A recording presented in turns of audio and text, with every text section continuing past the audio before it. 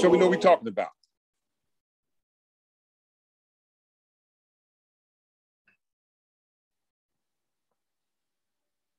Theonomy. N. One second, I spelled it wrong. D O O M Y. Here we go. We're talking about general equity. Look up the look up courts of chancery, and they're saying there are courts of general equity. Mm-hmm. It says there are courts of general equity. If I got it here, New Jersey.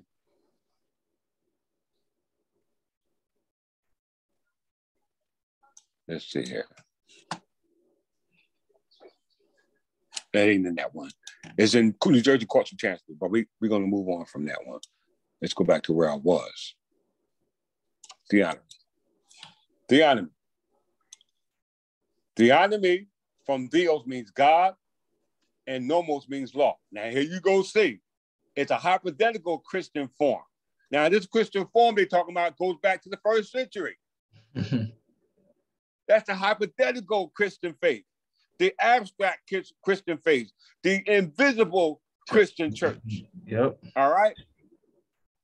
That says that in, it's a hypothetical Christian form of government in which society is ruled by divine law. Now we know that under, as we said, according to the Westminster faith, it said that that law has been dissolved and now it moved to general equity. Right? And general equity is chancery law. How hmm. we know it? Let's look at it it says that the precise definition of theonomy is a starting presumption that the old covenant judicial laws given to Israel have not been abrogated. Therefore, all civil governments are morally obligated to enforce them, including specific penalties. And furthermore, that all civil governments must refrain from coercion in areas where scriptures have not prescribed their intervention. The regulative principles of the state. Note that theonomy is distinct from the anonymous ethnics proposed by Paulus Tillich. Let's look, see what Thomas Aquinas had to say, Aquinas had to say about it. Thomas Aquinas held that if a sovereign were to order these judicial precepts to be observed in his kingdom, he would not sin. Some have mistakenly referred to this as general equity theonomy. General equity theonomy. So look up general equity. Just look that up.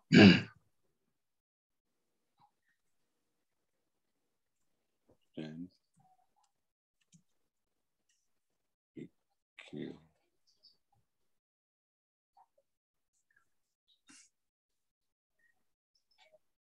What does general equity mean?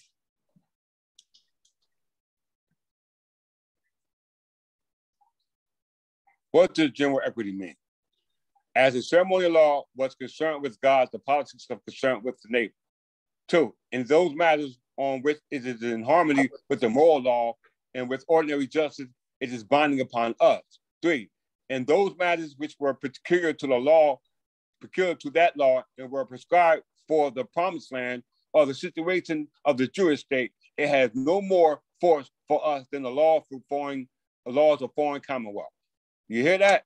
so that's what general equity means. That uh, where's that? Let me find a better definition.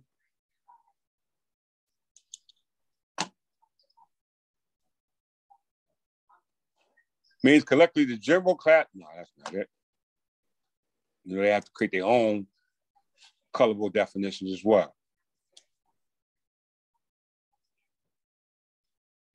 Uh, there we go.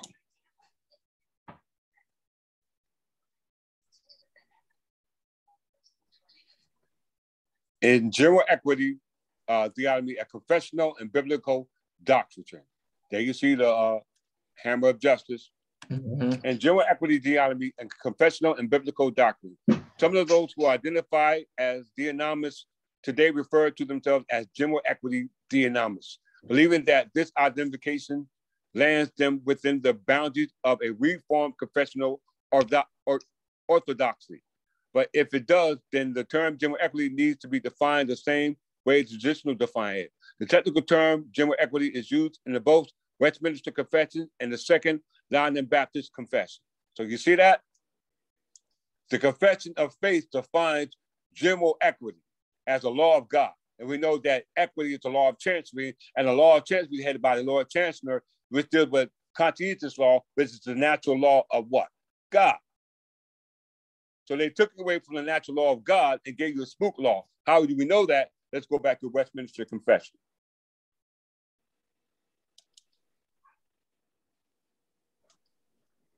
Westminster Confession of Faith. Uh, Westminster Confession of Faith is a reformed confession of the faith drawn up by 1646 Westminster Assembly as part of the Westminster Standard to be confession of the Church of England, to be the confession of the Church of England.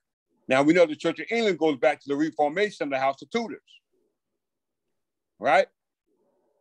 House of Tudors, that brings you here. Settlement Act.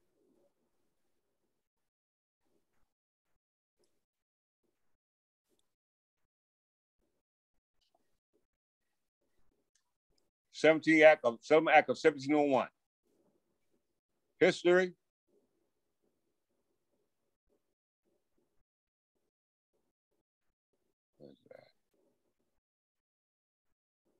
No, I'm sorry. Let's see here.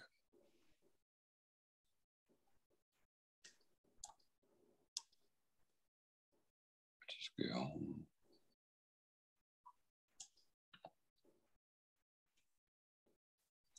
Where is it at? Come on. At the settlement. I think it was a plantation act. Let me just find it. Hey, what you looking for? Uh the plantation act. Okay. Yeah, it's the plantation act. I got it. Give me one second.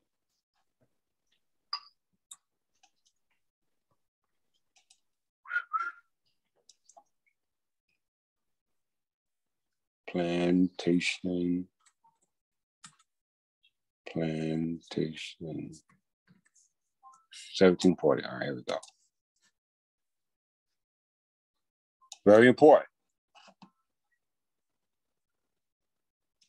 Plantation Act starts with an origin. If you go, if you scroll down, oh, come on, mouse messing up.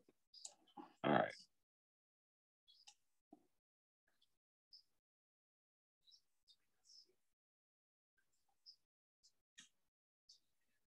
Where's it some add uh, colonies. It had to be the Settlement Act. I'm probably overlooking, overlooking. Oh, here we go. Uh, Settlement Act of 1701. The Act of Parliament of England that passed in 1701 to settle the successions of the English and Irish crowns of Protestant only. This had the effect of disposing the descendant of Charles I, other than his Protestant granddaughter, Princess Lady Queen Anne. As the next Protestant in line to the throne was the Electress Sophia of Hanover. This is King George I's mother, a granddaughter of James VI in the in first of, of England. After, after her, the crown would descend only to her non-Catholic heirs. All right. And this was a result of the Act of Supremacy, yep. as we can see in 1558. And that resulted from the Act of Supremacy of Henry VIII of 1534. This all is the House of Tudors. All this is done by the House of Tudors. Elizabeth I and Henry VIII are from the House of Tudors, which resulted in what we call, what we just said,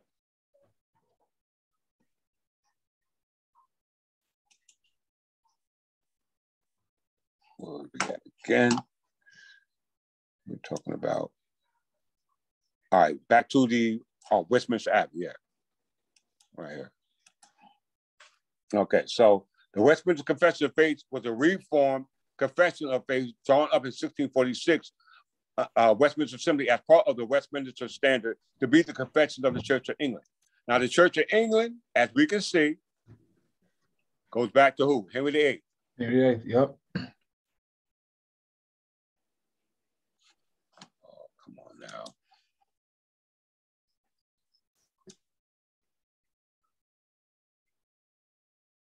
Roman Catholic Church, 1534. The Supreme Act of 1534 by Henry VIII and 1558 by Queen Elizabeth I. All it had to do with the uh, faith that was done under the Westminster Common Faith that was done in Westminster Abbey, as we're going to go back here now. So Westminster Confession of Faith was done in Westminster Assembly as part of the Westminster Standard to the Big Confession of the Church of England. Now we know the English Third Temple Church, which we are, is the restoration of the Reformation of the Church of England that was reformed through the Protestant leaders such as King Henry VIII and Elizabeth I, King James I, King James II, uh, King Charles I, King Charles II, Queen Anne, on down to King George. All these were descendants from the reformation of the English Third Temple Church of England through what we call the uh, breakdown of the York and Lancaster's house of the of the Plantagenet crowns or the Angevin crowns. So as we can see, that the faith that are now being practiced by these modern churches, I don't care what faith you practice, are a result of what was done by establishment of those uh, branches that were created through the Protestant and Anglican faith, which were the reformation of the Church of England established by the House of Tudors. All right. Now, when we're dealing with the Westminster Confession of Faith and the new standard of faith that will be in practice for the invisible churches, this originated from the visible church that was established back in the time of what they call 1 BC, which in the time of the Berber year, the year 950, where King Edgar the Peaceful was running the church of Westminster Abbey. Why? Because he's the one created the monastery bishops or the monks to run that church. How we know that? Let's mm-hmm. go back to Westminster Abbey. It says in 1643, the English Parliament, what's the English Parliament? Move this. Can they see that? Yep, the Parliament of England is pulling up now. All right. Come on. Why are you acting up? Come on. Just Mercury retrograde start tomorrow. Yeah. Come on, I need you. Wait one second. All right, here we go. Westminster Confession of Faith, as we said, was by the Church of England, right? Now it's said that uh, in 1643, the English Parliament called upon learned, godly, judicious divines to meet in Westminster Abbey. Listen to what this is saying, y'all. The English Parliament called upon learned, godly, and judicious divines. Judicious is with courts, judiciary. All right. The uh, divine people who act in a manner consistent with English Parliament. And English Parliament goes back to what?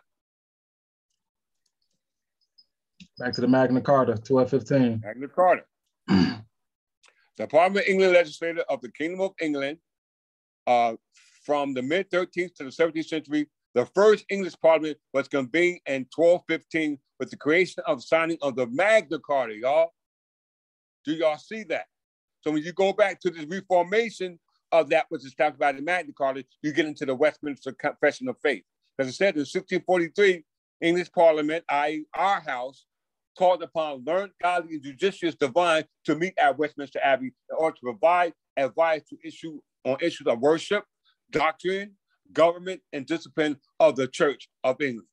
Basically, that's the whole nutshell of the uh, establishing of this Westminster Common Faith to establish a way of worshiping according to the doctrine that will assist the government in disciplining of those who are a part of the English Church of England, as well as the Reformed Church of England. But how it got reformed was the result of the problem. Why? Because the original Westminster Abbey Abbey, as established by English Parliament, was subject to the origin or at where Westminster Abbey was established from.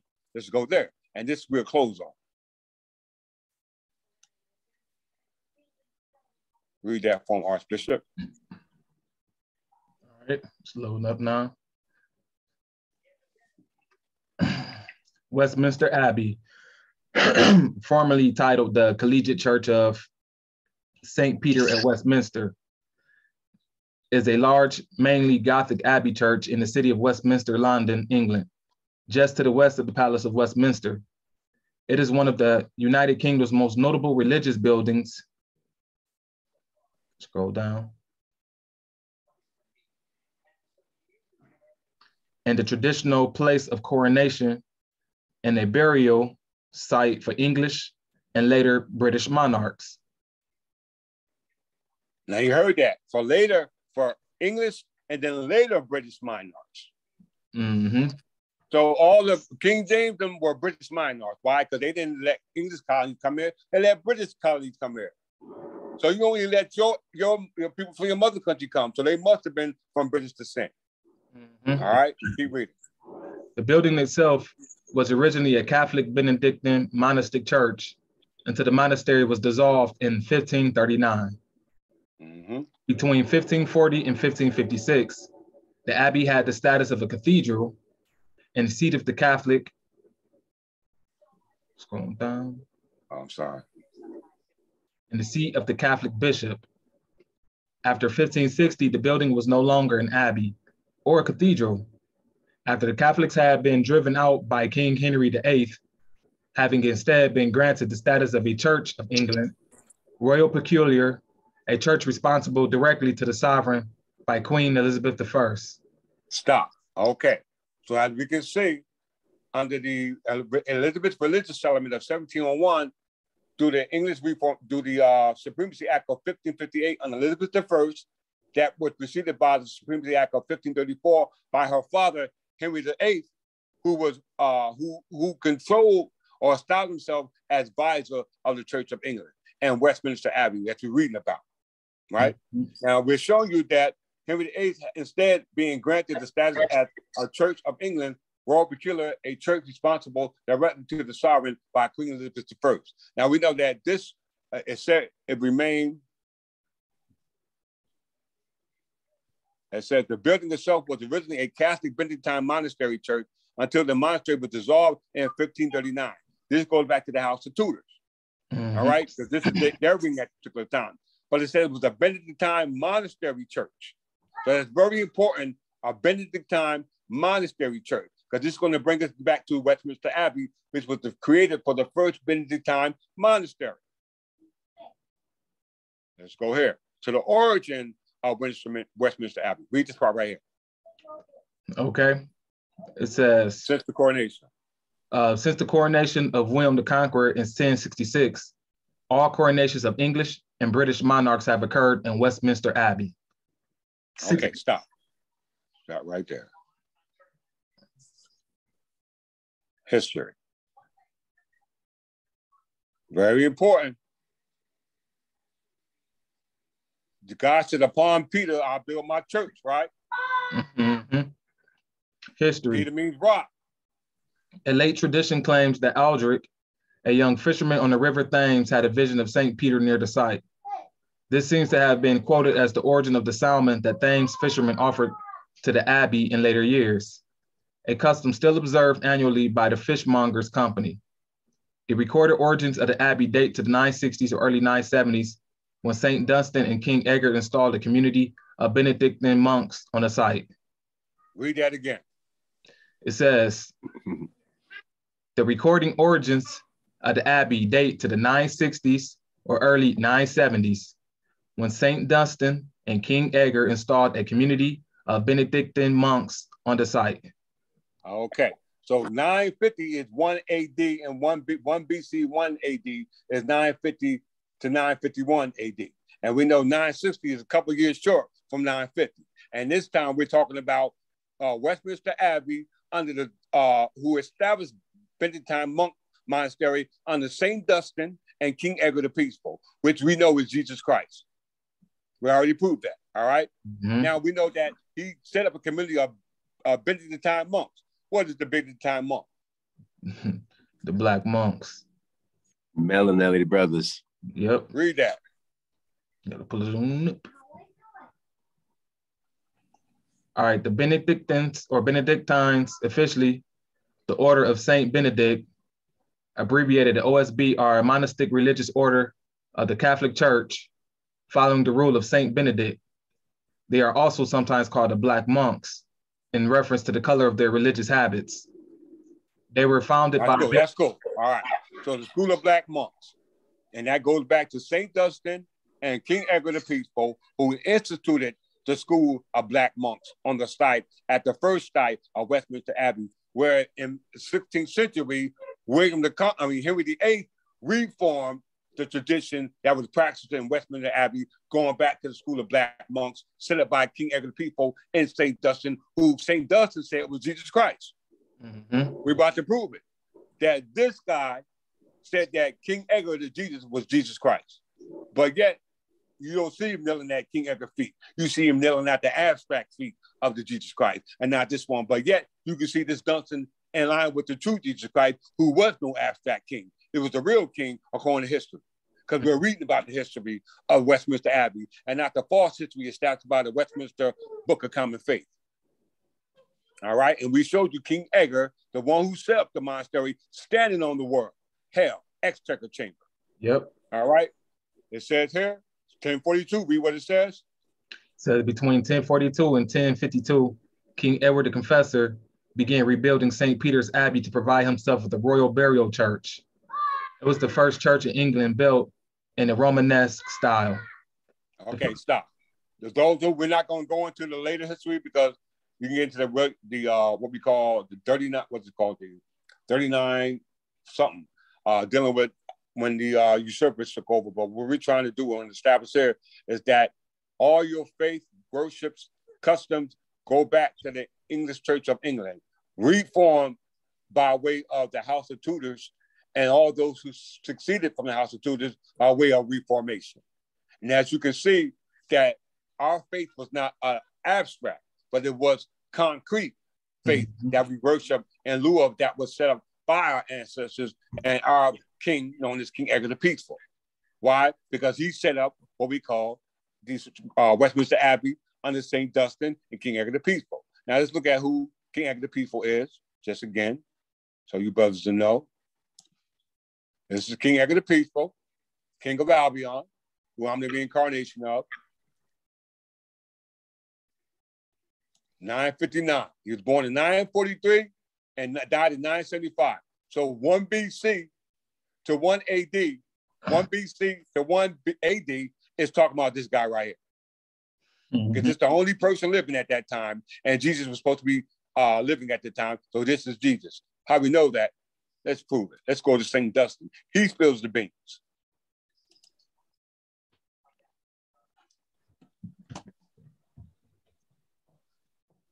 St. Dustin, 909 to 988, was an English bishop. He was, he was successfully abbot of Glastonbury Abbey, Bishop of Worcester, Bishop of London, and Archbishop of Canterbury. Now, if you look at the mission life of Jesus Christ, he said that he went over to Glastonbury, England. Mm-hmm. Glaston by his father, Joseph of Arimathea, took him by his body out the uh, cave and took him over to Glastonbury, England, where he grew up as a child, because Jesus never died. Meaning King Edgar never physically crucified. He died like like each every one of us of old age. All right. St. Dustin. There's a picture of him. Now let's get a better picture of him. Let, let Jesus speak.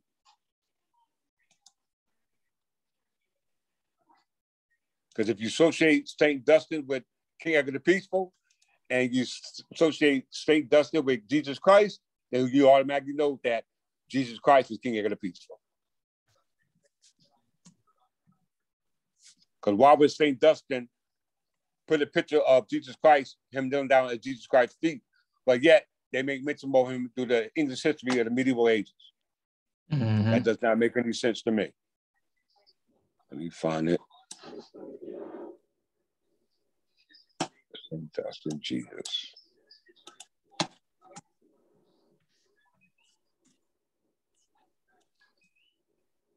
There we go.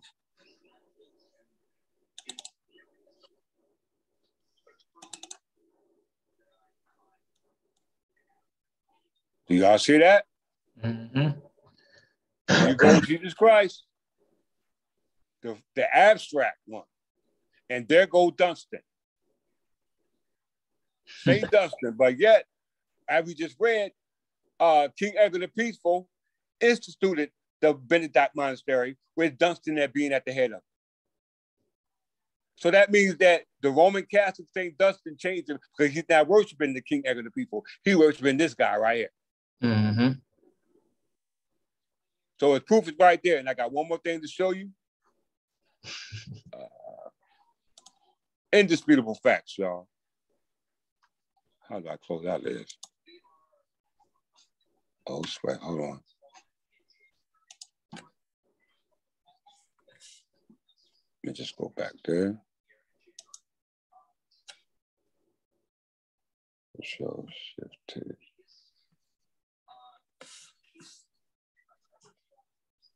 Why is not allowing me to click back?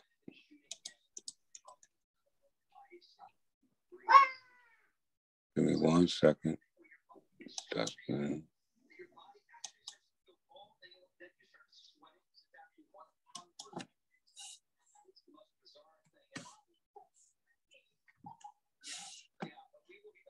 Give me one second, brothers. Jesus.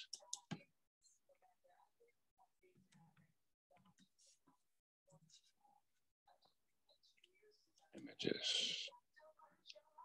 What is what's important about this image is the date.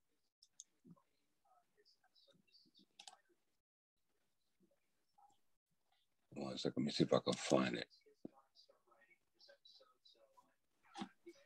Uh, all image. I'm pretty sure it says 950 if I can find it. Images. Let me share. Let's see if I can find it. It says 950 on this bad boy.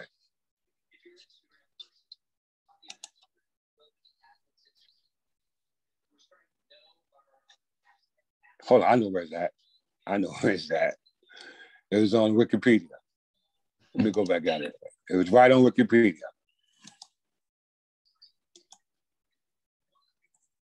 Right in front of my face.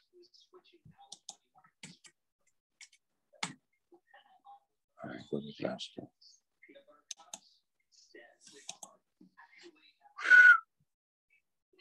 We ain't gonna hold y'all much longer, viewers. There we go.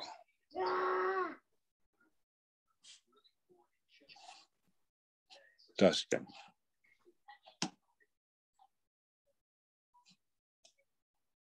Now look at the date here. Mm-hmm. We just said Westminster Abbey was instituted by King Edgar the Peaceful, and he instituted the Benedictine Monastery with St. Dustin as a, a, a, a bishop.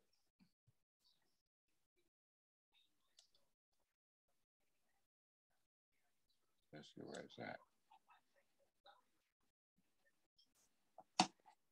Possible possible self-portrait of Dustin detailed from the Glastonbury Classbook. Installed. No, that's not it. Where is it at? It's one of these things had the date on it. Well, I ain't gonna find it. You you guys can look through it on your own, and then you see it. You see uh uh, uh Benedictine Monastery Arch uh Saint Dustin kneeling down as Jesus' feet. All right. This is considered to be the Son of Man. But as you can see, based off the historical record, that this St. Dustin is associated uh, with King Edgar the Peaceful. Why? Because his date of existence. Dustin was not born in the time of one first century BC. Mm-hmm. That's how you know somebody lying. Let's go back where you at, Dustin. Circa 908, 909. So he's living in the time of the Middle Ages.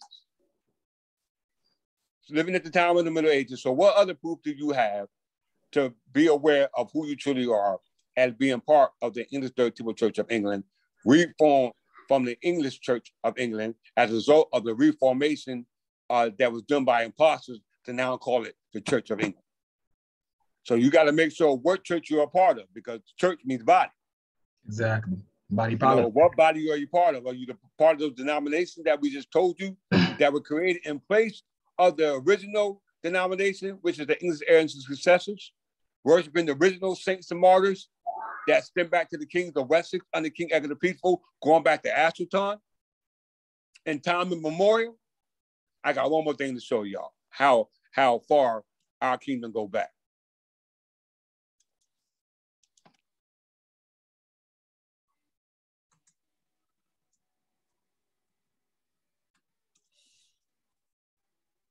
All those who think they know, you don't know. Y'all dispute this, just tell me if y'all can dispute this fact. Prove to us King Ben's line about we ain't, we're not English heirs and successors. Prove to us, just based off this one.